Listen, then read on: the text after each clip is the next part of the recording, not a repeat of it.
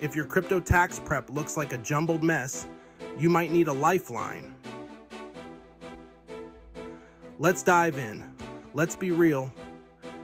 Crypto taxes can feel like a labyrinth designed by evil accountants. But fear not, because today we're breaking down some killer crypto tax hacks to save you big bucks. First up, track your every move. Seriously, every trade and transaction. Sounds tedious, right? But it's crucial for minimizing your tax bill. Tools like CoinLedger make this way easier. They automatically sync your transactions and calculate your gains and losses. Talk about a lifesaver. Next, consider tax loss harvesting. This is where you sell off crypto assets at a loss to offset gains elsewhere. It's like a cheat code in the game of taxes. Also, don't forget about long-term gains. Holding onto your crypto for over a year can significantly lower your tax rate.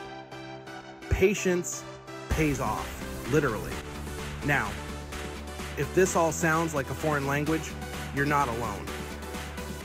Crypto taxes are complicated, but with the right tools and a bit of know-how, you can navigate through it.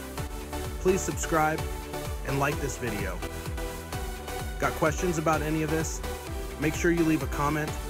I answer all my comments.